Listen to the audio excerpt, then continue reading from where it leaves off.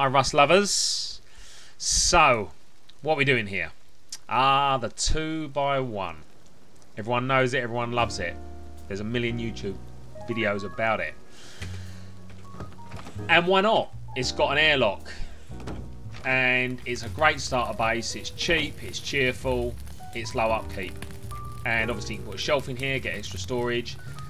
And it does its job. It's fine. There's no complaints. Used it a million times myself. But supposing there's a better way. And the last couple of wipes, I have started with something slightly different. Which is this.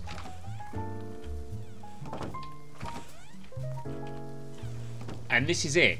It is also a 2 by one exactly the same upkeep, exactly the same uh, build costs. Um, allowing the other one, if you will, the triangle airlock at the beginning, assume it's got three furnaces in the foundation because I find that's a, a good space saver because I've done it here as well. But that's not the reason. So this is still a 2 by one You've got one triangle, but it's in the centre parting the two squares. So you've got your three furnaces, that's fine. You open these up.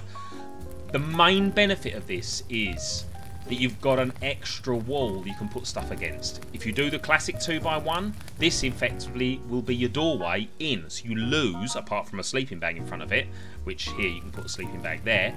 Um, that's it. You can't put anything else in front of it. But in this design, you can actually utilise every single wall.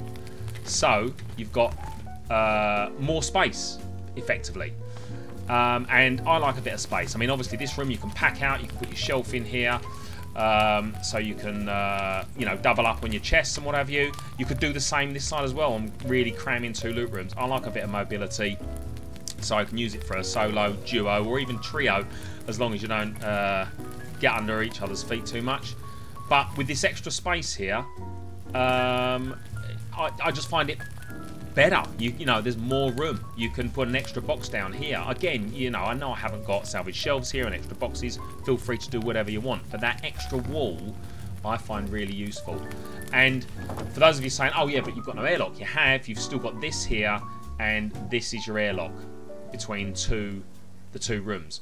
Now, the other negative I can hear some of you potentially saying is, oh, but there's only one, two doors before you get to your TC. Whereas on the Classic, two by one, you'd have a door here, then obviously you've got your your uh, your other square foundation here, and then your triangle, so that's three doors. Yes, that is true, but they don't know which side to go here. So there are still effectively three doors to get into the whole lot, like you would have on your conventional two by one. But the other thing is you can um, resolve that very easily just by putting another triangle on the front.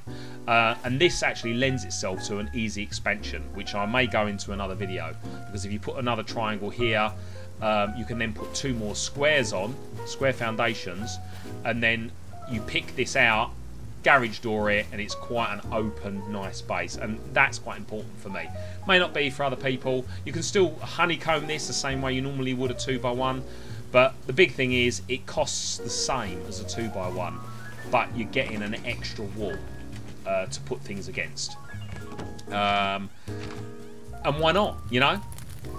You can feel, you can feel it just feels a bit more roomy. I mean, look at the space here. Because when you, you can also, also utilise this triangle as floor space. It just makes it feel more open. Whereas with a normal 2x1, this is literally airlock and that's all it's good for. Um, so yeah, that's an alternative I've uh, felt has been beneficial to me personally for a couple of wipes. Um, feel free to have a go and uh, let me know what you think in the comments. Thanks very much, and I'll see you in the next one. Missed.